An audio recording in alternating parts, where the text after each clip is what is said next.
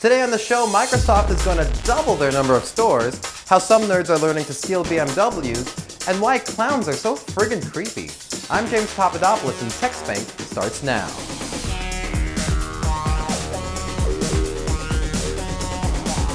Hey, guess what?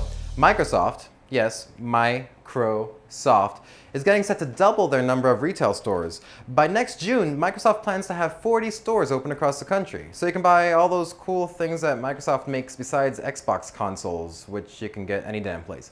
I have to admit, I've never been to a Microsoft store, but I also admit I would never want to. But it's really sad to see photos of them. Check this out. It looks just like an Apple store. And look at this employee. Come on.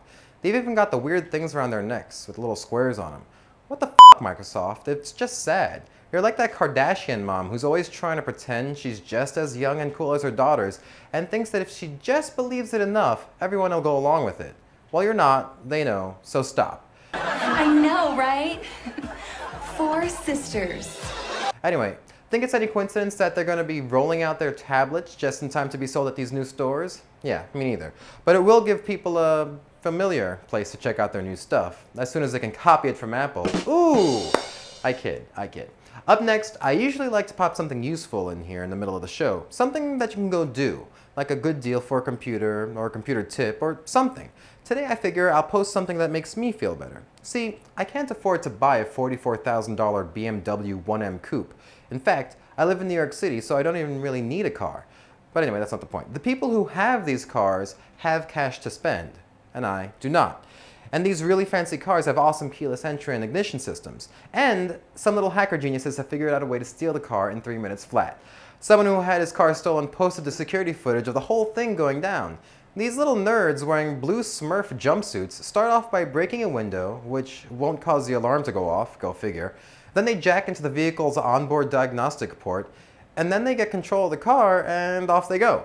Now, the port should require a password, but for some reason BMW didn't use one. For their part, they acknowledge that there's a problem, but they don't seem to be doing anything about it. Now, remember, I'm not talking about this because I have any tips to give you to keep your car from getting stolen. I mean, you could put it in the garage or something, who cares? I'm just saying, I can't afford one, and now people who can are having theirs stolen by little nerdy smurfs, and that makes me smile. Finally, before I go, let me drop a little science. What do zombies, android robots, and clowns all have in common? They all freak people out. And why? Because according to researchers at the University of California, they're almost human, but not quite. And that causes all sorts of problems in our brains that make us uneasy. They found that as something goes from completely non-human to more human-like, there's a valley in the chart that shows how comfortable we are with it. For instance, this robot doesn't make us uneasy, and this person is normal, so everything's cool, not creepy. But then you see this thing, and your brain is like, whoa, whoa, no, not interested.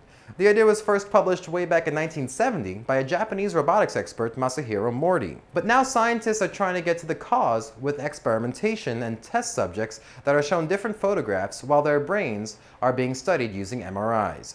Eventually, they hope to be able to help animators and robot creators come up with stuff that leans towards cool and away from creepy until they go crazy and start to kill everyone. Good idea.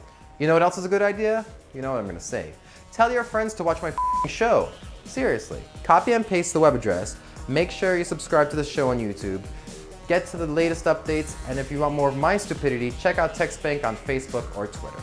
Until next time, I'm James Papadopoulos. Thanks for watching.